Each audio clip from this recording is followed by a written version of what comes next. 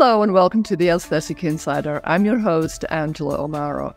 I'm here today with Dr. Richard Brown, a plastic surgeon who practices in Scottsdale, Arizona, and who firmly believes that plastic surgery should be the last resort. Dr. Brown, welcome to the Aesthetic Insider Show. It's such an honor and a pleasure to have you here today. Thank you for having me. I appreciate it. Um, absolutely. And before we get going, like I know we're going to talk about life balance, nutrition, exercise, surgery, and, and many other aspects of things that you, you know, firmly believe in, in in your medical practice. But before we get going on that, I'd love for you just to tell our audience a little bit more about who you are, what you do, and uh, why we're here today. Absolutely. So I'm a board certified plastic surgeon. Uh, I grew up in Georgia, so I'm a Southerner. I, I, ended up out here in Arizona after my plastic surgery training. So I, I trained in general surgery first, then plastic surgery. I've been out here for about 14 years in Scottsdale, Arizona, practicing. I'm in solo practice. It's just me. Uh, I do a lot. I used to do a lot of breast cancer reconstruction. That sort of tapered down over time as insurance has gotten a little difficult lately. But I do mostly breast and body work. Um, and again, that involves cosmetic and reconstructive work. And uh, yeah, I, and then I've just, as you alluded to, I've more recently in the past probably five years or so become a lot more in tune with fitness and wellness and how that might apply to my field and, and how I might be able to use that in my practice. You know, I find that like great and, and amazing because, you know, I've been in the aesthetic industry for quite some time. And and I think you know one of the, the, the things I hear many times from from other doctors is there's no time for them, and it's so hard. You know, you, you they start surgery early, they run late with patients, their schedules always full and booked, and there's no time for them. You know, in terms of eating on time, working out if possible, and so you know how how what advice would you give to somebody who's like you know how do I I begin to, you know, create life balance for myself? And does it start in the practice or does it start at home? Yeah, it's a little bit of both. I'll I'll tell you though, I um the whole balance thing, I have a very a very different spin on balance. Unfortunately, I feel like you have to have incredible imbalance in your life. So you have to decide is my imbalance going to be leaning towards making money, money, money, and that's all I want to do and I just want to operate and see patients all the time and spend less time with my family? Or do I want my balance to be less of that and more of just time with my family and more me time? So I think that, you know, to get where I've gotten, I needed incredible imbalance, right? Like I had to be so focused in med school that that's all I did. And I did not work out and take care of myself. But now that I'm in practice, it's just a priority to me. I, I am an exercise freak. I love doing other things to challenge myself. I started jujitsu about a year and a half ago. And so I'm constantly trying to push myself to do other things because it's important to me. So for me, I don't want to get to the end of my life or the end of my career where all I've done is work, work, work, and then money was the only thing I focused on and have missed out on my kids and my family and just doing fun things in life. So for me, I just kind of decided that I'm going to have to give up some money making in my practice and maybe work a little bit less so that I can enjoy these other things. And maybe when my kids go to college, you know, maybe I'll step back up and do do a little bit more in the office or no, my wife and I will travel a little more. So I think you just have to decide what's important to you and I decided what was important to me was not only treating patients and having a great practice that that that treats people well, but really just enjoying my life and being healthy. That's really important to me. Yeah. Now, how many years ago did you kind of make this decision? Was that uh, you know, I think part of the reason I went into private practice was I always wanted to have control over my life. And I knew that if I worked for a hospital and I was an employed plastic surgeon, then I wouldn't have control over that. So I made that decision 14 years ago when I started private practice. So I graduated from plastic surgery training in 2009 and basically went to work with another surgeon who shortly retired like within a year after I joined him. So I made that decision way back then that I wanted to control what my life was going to look like. Yeah, you see, and I think that's great that you did that, and and I think it's quite rare because again, many of the doctors that I that I've met, it's like they just you don't you, you're not taught this in medical school. You know, you're just taught to be a doctor, to be the best doctor you can be, and that means working around the clock, seeing patients, and and having no life. um, and and even you know we get onto kind of like the business aspect. So for you to make that choice to go into private practice comes with its own set of um, challenges too. In, Oh, yeah. and you have to be a businessman, which again, that's not, uh, was not taught in medical school. I do think many medical schools are beginning to incorporate kind of more things into their curriculum. But, you know, for those that are currently practicing today, is there's so many imbalances of responsibilities that make it more stressful. Yeah, running running a business, running a practice is it's not it's it's also has it has its struggles. I mean, it's not all rainbows and unicorns. I I have my struggles and I have the things that I don't feel like I'm good at in business, and so I have to go out and find the people that can fill the void of the things that I'm not great at to help me propel my business to the next level. And even at this point, 14 years out, you know, you and I briefly were talking about before we started the podcast about you know this health and wellness idea I have and how do I you know, I'm in the second half of my career in my life, and I, there's other things that I want to do in my practice besides just be a surgeon. And I've got to find the people to help me. You know, the who that can help me get there um, is it's hard. It's hard running a practice sometimes. It really is. Now, you mentioned, so, you know, we kind of started the show, and one of the things that you had told me was, you know, you're the plastic surgeon who believes the last resort should be surgery. And your work has, has been a lot within breast and body work. And then we kind of got into exercise and nutrition. And so I, I'd love to hear more on in your practice with your patients who I'm assuming come in again for breast and body work. Many of them may have, you know, weight issues or, or other issues. And so how are you maneuvering your way into offering them a more holistic approach to their health and their surgery? You know, the first thing that starts with is that it's something I believe in, right? So I I walk the walk, I talk the talk. So I am in shape and I take care of myself. So when I see patients, probably about five or six years ago, it hit me. I was having patients come in to see me who wanted some body work. Let's just take tummy tuck for an example. And as I'm examining them, I'm like, they're not a good candidate. They're not going to get a good result. And it's not a skinny versus fat issue. It's a here's why you're not going to get a good result. And why would you spend all this money to have a procedure that you're not going to get a good result? And what I think you need to do is, and I started educating about nutrition, and I think you have some weight to lose so that we can get a good result. And I found myself educating patients, but then kind of sending them out the door. And it was like, they would, I, I realized they were going to leave and probably never do what I recommended. And they were just going to go find a surgeon that would say yes and do the operation. Well, I realized that that wasn't serving the patient.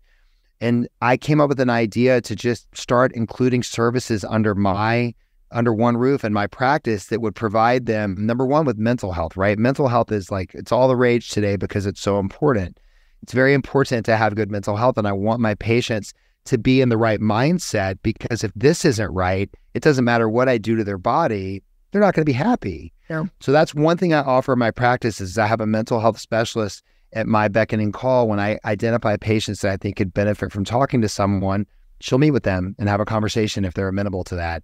The second thing is I have a nutritionist in my in my practice, and the nutritionist she's a macronutrient coach. Um, she's an RN and she has an adult and a pediatric license, and she helps my patients with the nutrition part. So a lot of times, I'll have patients come in who say, "I work out five days a week. I I eat well. I'm doing everything, but I just can't lose the weight. So I need the lipo or I need the tummy tuck.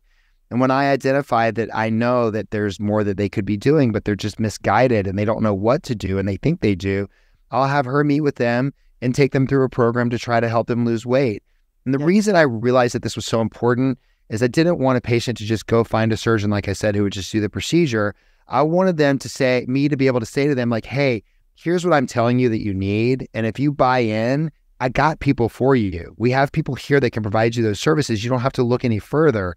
And so by doing that for them, I'm setting them up that if by the end of their weight loss journey or getting healthy journey, they don't need surgery, great. That's awesome. Good for you. You don't need an operation. But if you do still have loose skin or something you don't like and we do operate on you, well, now you're set up to maintain your result and you're not going to fall off the wagon and gain a bunch of weight. Like you have the tools that you need to be healthy. And that that's where this all came from. And that's something that I'm still currently building out in my practice.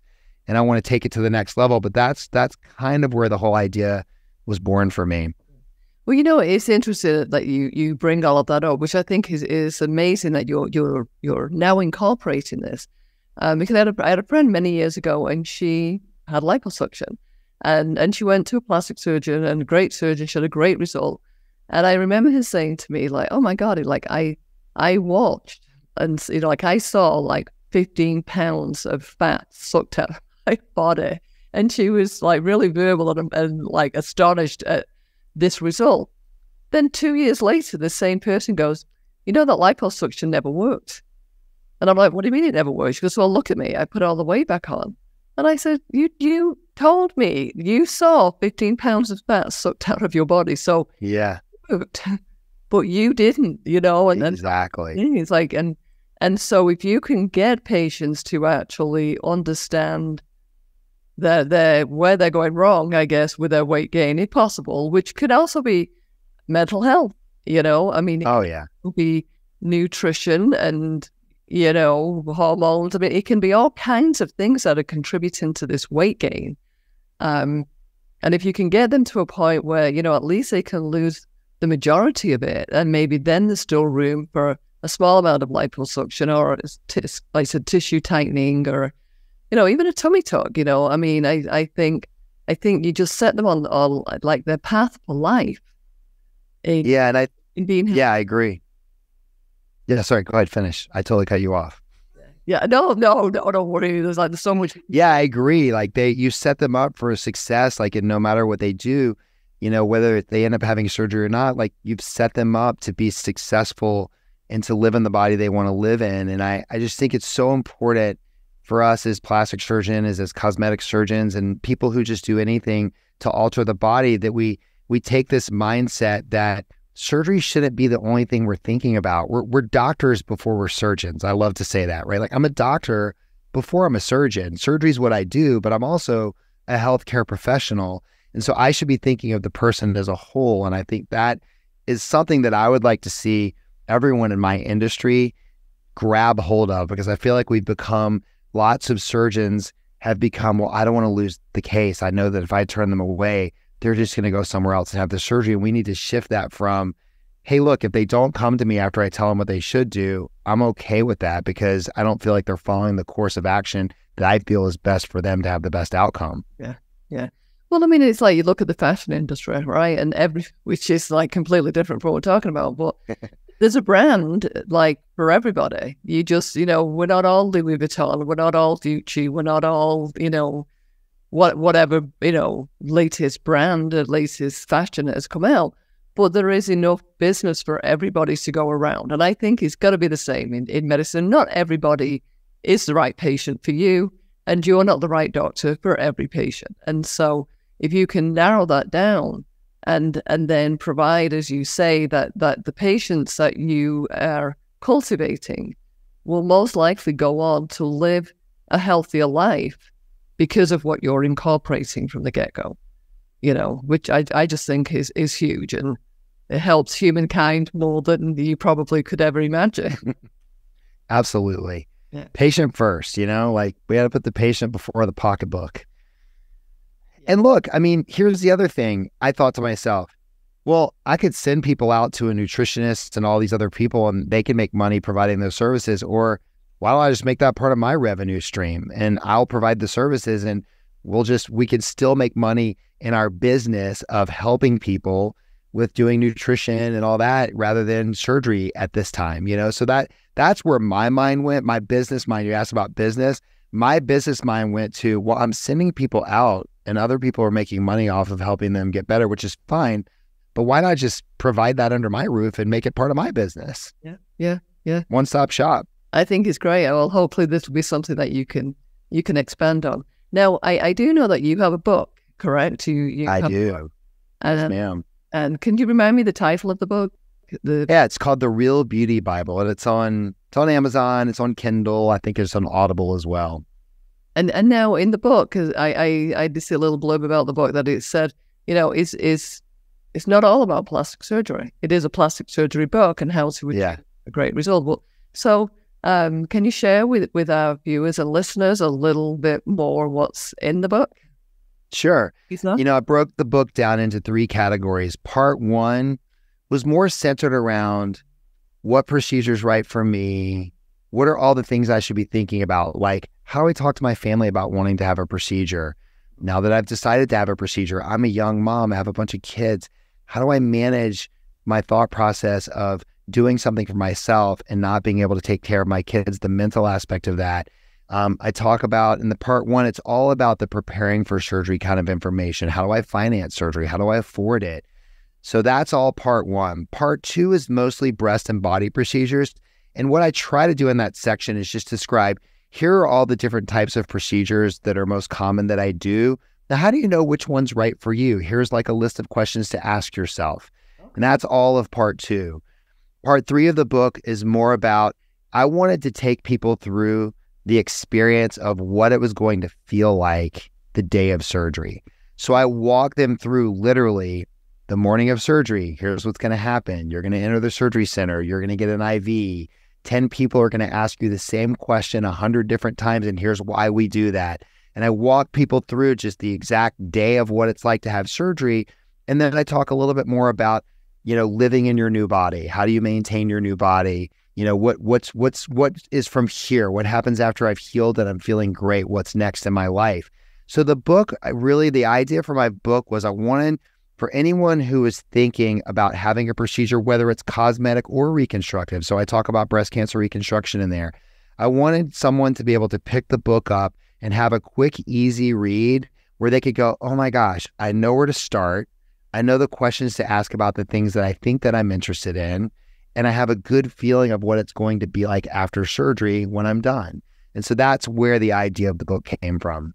Mm. No, I love that. And you know, and you, you said earlier about um, you know, if you kind of see a patient who you think could do with some with some mental health counseling and you have a qualified professional on your team who can, you know, work with that patient, how many um, what would you say is the percentage of patients that you send in that direction? So it started out that we made everyone go see her for at least a 10 or a 15 minute visit because I thought to myself, it'd be really cool if people were willing to sit with her for 10 minutes because maybe they'll open it up to her if there's something they don't want to tell me. So it started out that way. And then I quickly realized, like, look, not everyone needs to go see the mental health specialist. Like, if someone's coming in for a breast surgery and they have saggy breasts and they just want to be lifted, and like, I get it. So then what, what happened was, as I'm talking to patients, I kind of get a sense for there's either been a traumatic event in their life or they have a food addiction or an issue with food that they've never dealt with. Um, I had one patient who had been sexually abused and never really talked about it. And she had yo yoed with her weight her whole life. And we figured out, because I had her go see my mental health specialist, that she was keeping herself in a non attractive place because she didn't want to be abused again.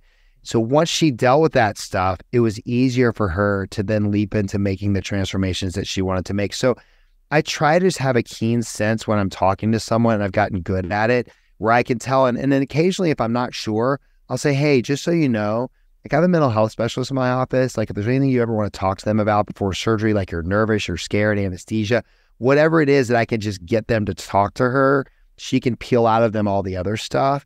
I just offer it. And some are like, yeah, I would love that. That's so cool that you have that. And some are like, oh, you know, I think I'm good. Like I have someone I talk to or I, I'm good to go.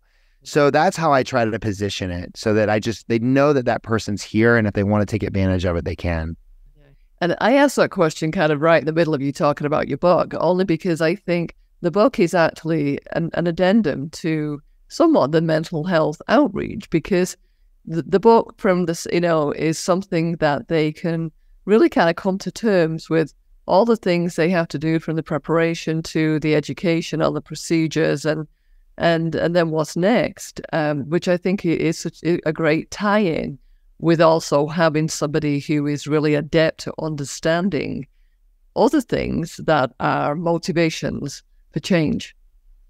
Absolutely. Yeah. It's huge. I mean, the mental health aspect is so huge. And I people always ask me, they're like, do you, you know, get the people who come in for like the crazy requests for plastic surgery and, and like just wish the public at large understood that all the stuff that you guys are seeing on social media and in the news of all these crazy botched operations and people with their lips that are so blown up and faces.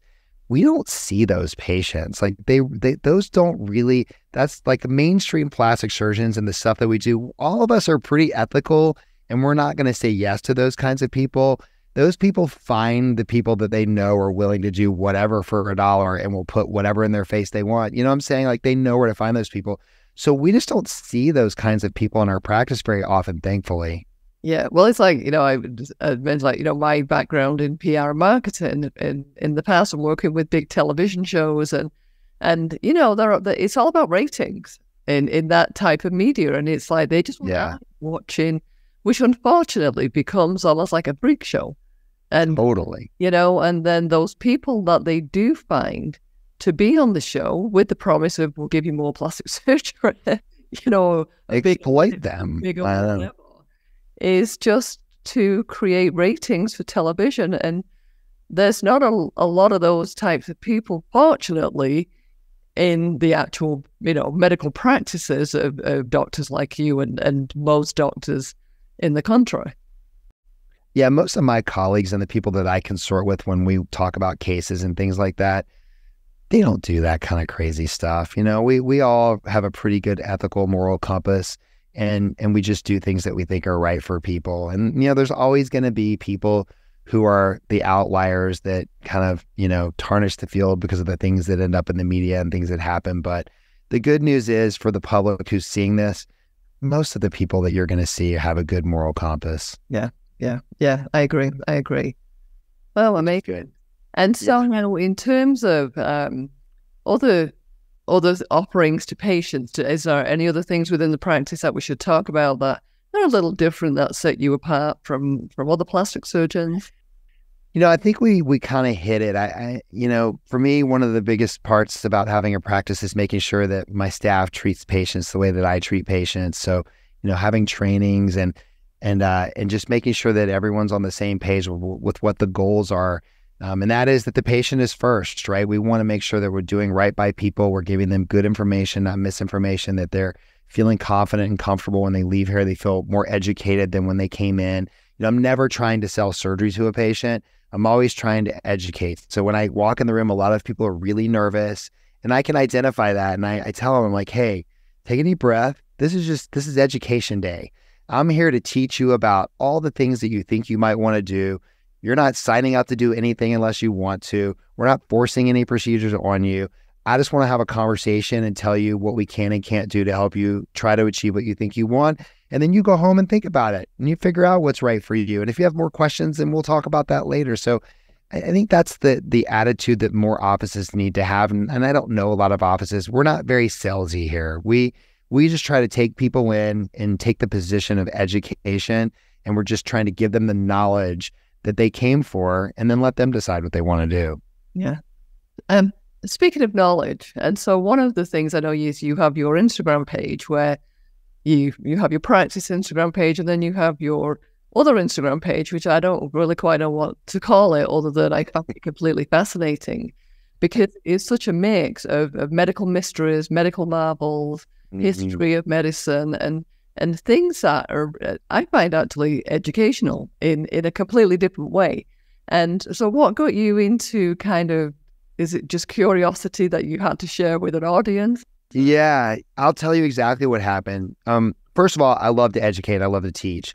And because I'm I'm board certified in general surgery, I did that first. I did a full residency training in that, and then I did plastic surgery. I have a lot of different medical knowledge that I feel I have perspective on and I can teach about. So my Instagram page, you know, all the social media platforms have become very much against any graphic content. You can't even show breasts covered up now. They start to suppress all that content. You know, and I was getting frustrated because I was trying to teach people about different things in plastic surgery.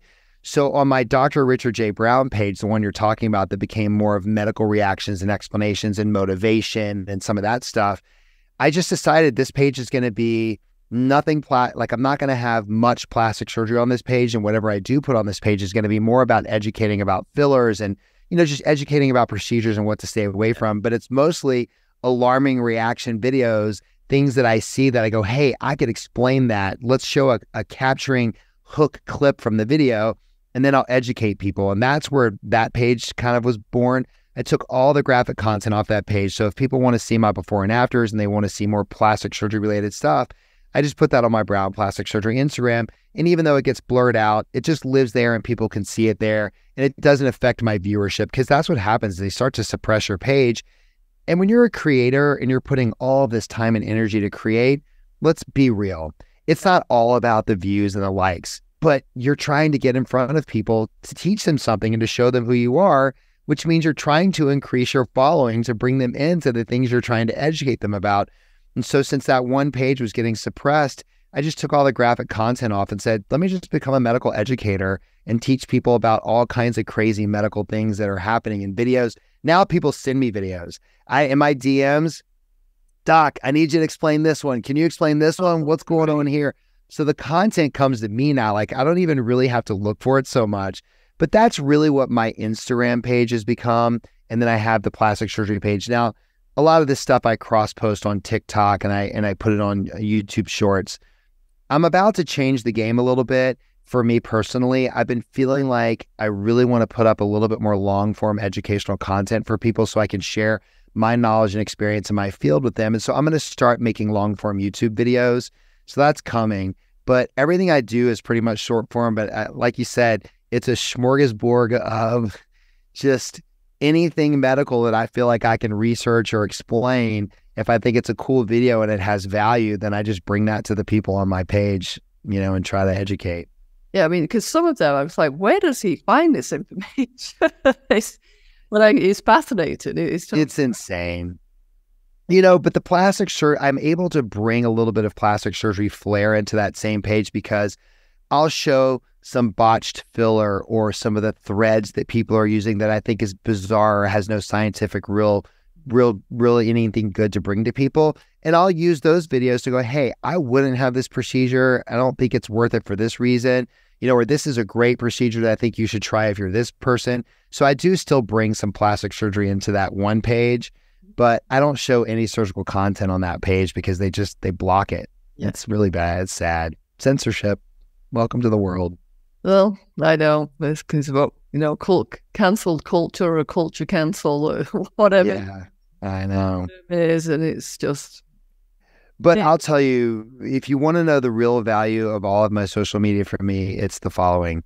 Um, because I like to answer questions and educate people.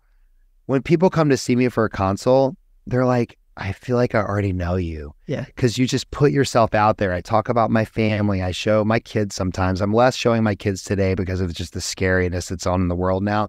But people that come to see me, they're like, I feel like I already know you. Like you're the same guy in person as you are on your social media. And I think that just makes people feel comfortable when they come to see me that they're getting the same guy that they're seeing out there on social media. So that's been the biggest value add for my practice is that I've built trust through social media with the people that see me, and that's the same person that I am when they come here. And I think as well is is is you, I, as I said earlier, you know, we all kind of attract whatever it is to us, and so the people who see you that that you build trust with, they also like you. You know, I mean, because they they like what they see, they like the personality, so it probably makes them feel a lot more comfortable coming to you because it's like they already know you. Yeah, absolutely. I mean, it's I have to do good work. You know, it's important to do good work. But you're you're right. I mean, I I'm turning 53 this week, and you know, it's it's interesting because you wouldn't think that someone in my age group would be so savvy or into all the social media and that. And I just I love it. I've always been an electronically inclined guy and and like with AI now, the way AI is growing so fast, I'm delving into that world to try to figure out how can I use AI in an honest fashion to create more information that's legit real information. And I mean, it's mind blowing what's going on right now. But I'm always an early adopter of that stuff when I find value in it. So it's been a lot of fun. That's great. That's great. And so tell me then, I, I would like in all of these kind of videos that you found and you've seen in these medical stories, histories, botched things, is there any one that stands out that was like even a surprise to you? Oh gosh, you know how many hundreds of videos I've made. I'll have to think about something that was the craziest. I, I can't offhand think of, but there have been some bizarre stuff. like people do send me stuff that I have to. This is what I like. I have to go sit down and research certain things to make sure that it's legit okay. or to make sure that I understand what's going on. But nothing stands out right now. I'm sure if you asked me off screen, I would think of something right away. But there is definitely some bizarre stuff. And I and I learned too. Like there are things from medical school that I remember touching on, but someone sends me a video and I'm like, oh, I got to go hit the books and like read about this. So it's fun for me to kind of rekindle old knowledge that I used to have and even get more in depth because now I'm in a position now where I've been in medicine long enough that I can just read something and I'm like, okay, got it. Totally understand how it works, understand the disease process. I get the lingo and I have it. And so I'm learning more about other fields just because videos are making me go do research. And that that's been really fun too you know, being able to step outside of plastic surgery and learn other stuff. Yeah, which I think is great. And and again, uh, that's that's kind of I I find it myself so fascinating because I've you know worked in medicine for so long, and then seeing things that were what methods from the past or why things were done in the past, and and some things which are now returning as oh yeah as treatment um, in modern day medicine you know, like so, I'll tell you, I'll think I'll tell you a crazy one. I just posted this again, and I've posted it several times before. But you know, cupping where people put the suction cups on to help. I love cupping. I mean, I it, it feels great to me. I enjoy it. But you know, bloodletting used to be a way that they tried to rid the body of disease. We thought that it was helpful to do bloodletting. And now they've brought that into cupping where they make little nicks in the skin and they put the suction cups on and they fill up with blood. And it's like a form of modern day bloodletting. Now, it's not legit. We know that it doesn't really work for what it works, but there's some religious undertone to that. That's fine. That's people's religion. But there's also modern day diseases like hemochromatosis, which is a collection of iron in the body. And the only way to get it out is to basically phlebotomy, to, to leach people's blood to get rid of it. So there is some modern day realness that we're utilizing that was ancient times but you know, those videos always blow me away. The bloodletting videos that people send me, it blows me away that that still has like a huge place. Now, look, we're westernized medicine. I'm not gonna pretend that there aren't other ways in this world to treat patients that are outside of what my traditional t- learnings are. So I try to be open minded to other things. But those are the videos that are very captivating and fun to read a little bit about, right? So I have to go back and read like do we really use bloodletting anymore? Like, is that a thing? And I had to sit down and really read a lot about bloodletting. So it was pretty interesting. That's fascinating. That's fascinating. You know, I spend some of my time in Mexico, and the medical system, at least that I've encountered here, is is interesting. At least on, on I mean, the plastic surgeons are very serious about plastic surgery. Good, good. You know, and that I that I have met um, but then there are kind of cultural shifts of things. When you mentioned earlier about patients, you know, in your book, how what can, you know, what do I do with my children while I'm having surgery? And so I'd been consulting with a plastic surgery practice in Guadalajara, and the question was, what do I, what do I do with the patient when she comes in for a breast consultation and she brings all her family with her, including her children? it's like, it's overwhelming. He's like the the grandma comes, the uncle comes. I, I know. Everybody comes, and they all want to be in on the consultation. And so that was like, oh, okay, that's kind of interesting. You know, you know, I, I set limits for that stuff. Uh, you have to. I mean, yeah. otherwise the office gets chaotic. I usually tell them like, you can bring your one in. Like, bring your one. Who's your voice? Who's going to be your ears?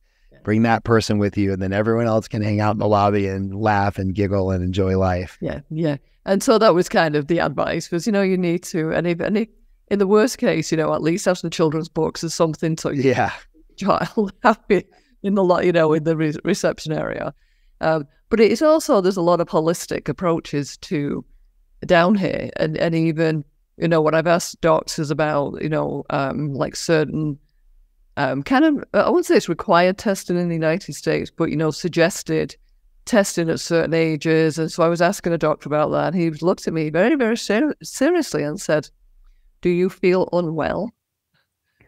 I said, No, no, I feel great. I'm just asking, is that that particular procedure like a yeah. somatic you recommend a patient at a certain age go and have that test? And he said, No, no, we don't do that here in Mexico. So, you know, that the, there is a completely different approach. And, and I think as we progress more in the United States with our Western medicine and with some of the things that you were talking about, which would be considered more holistic. I mean, you know, not re- not remedies, but the nutrition or the mental health or the the other things that you help a patient before doing surgery is is yeah.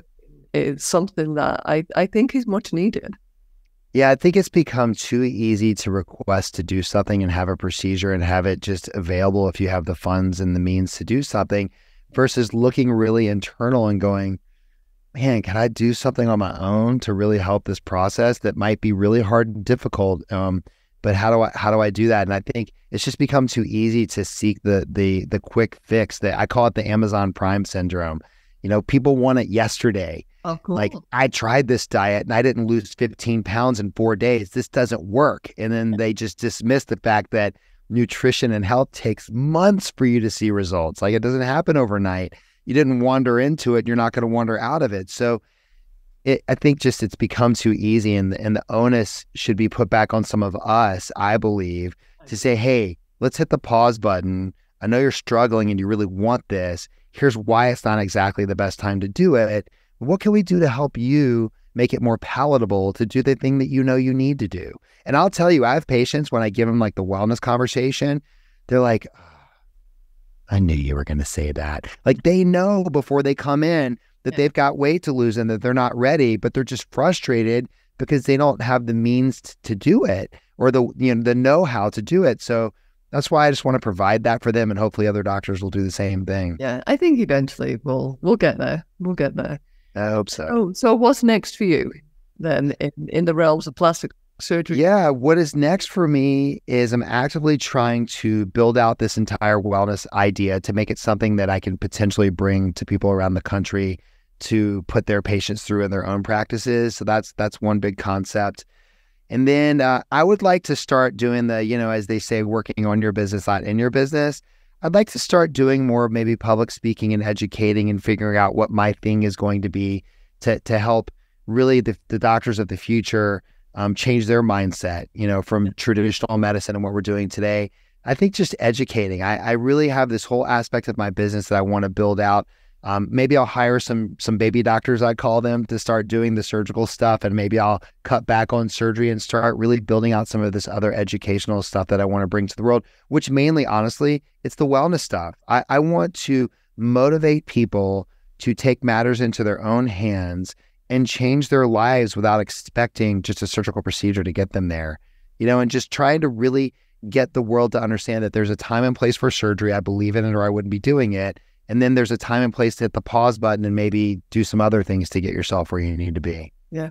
You know what I, I really love about this is because I, I really do believe in all the years I've been in, in the aesthetic industry and the surgeries and, and the patients, you know, surgeries I've seen, the patients I've met, the doctors I've, I've worked with, is I, I really do believe that plastic surgery is life changing and in a very positive way. And I think if you add on the wellness, holistic, and and future health of that patient, it can be even more life changing. You know, yeah. it's one thing changing an image, which we all know now does increase self esteem in most cases, you know, and it does increase relationships or business success or competence, you know. But but I think having that health aspect behind it can just only be triple the yeah the result.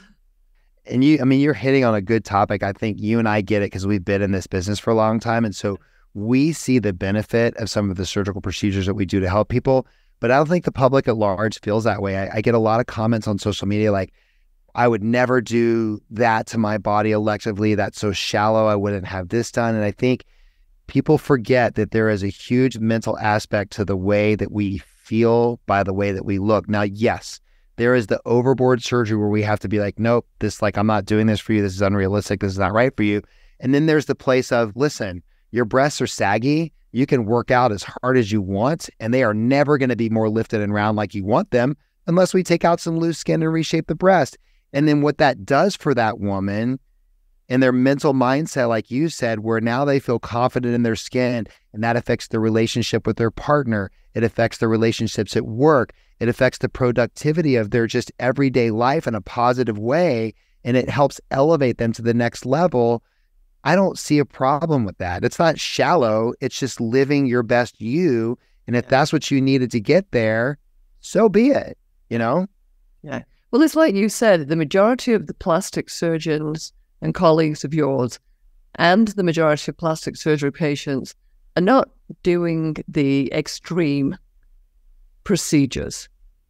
And the procedures that they are doing are things because something that might be really small to you or to another person is huge to them.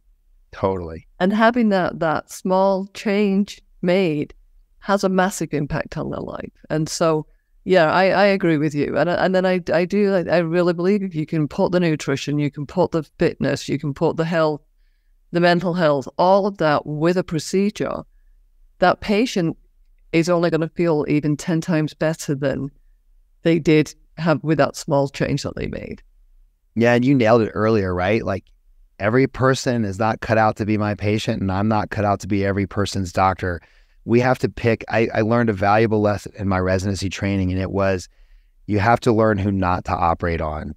So when we identify the patients that we know either aren't doing it for the right reason or they're not listening to you and really understanding why you're telling them this isn't the right time to have a procedure, then you just have to respectfully part ways and say, hey, I'm not the surgeon for you.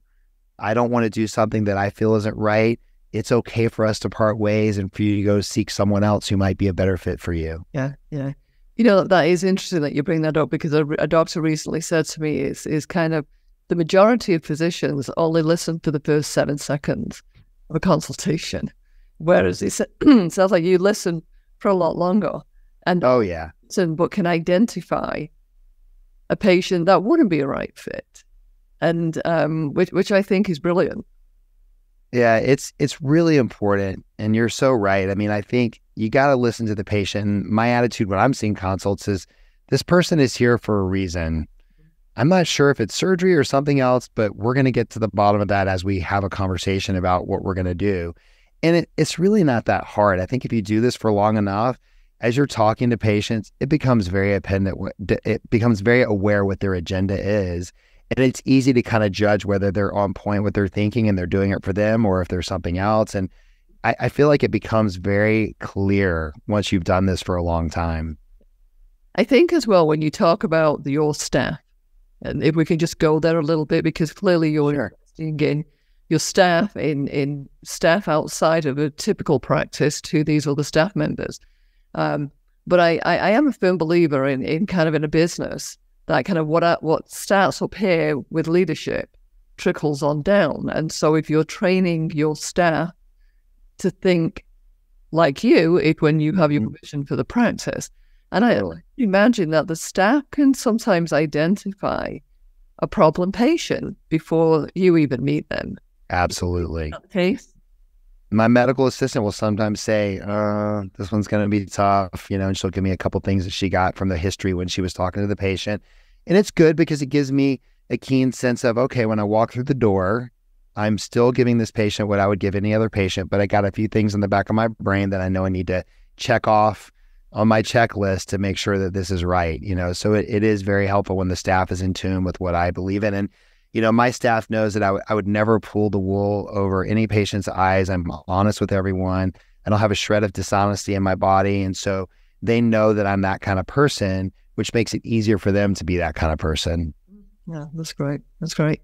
Well, Dr. Brown, is there anything we haven't covered that you would you'd like to share with our audience before we I don't think so. I mean, I, you know, listen, I always want everyone to buy my book, The Real Beauty Bible. It's not something I make massive amounts of money on, but I think it's a great segue into sort of understanding the thought process through having plastic surgery or what it's all about. And then, of course, you know, people can follow me on on Instagram and YouTube and TikTok and all the different places would be great. I'd be grateful. I love as many followers as I can get to spread my message would be beautiful. Absolutely, absolutely. Well, Dr. Brown, thank you so much for being on the Aesthetic Insider. It's been an honor to have you here today. Thank you. Thank you. My pleasure. Absolutely. And for those of you still with us, remember to watch next Wednesday for another exciting episode of The Aesthetic Insider.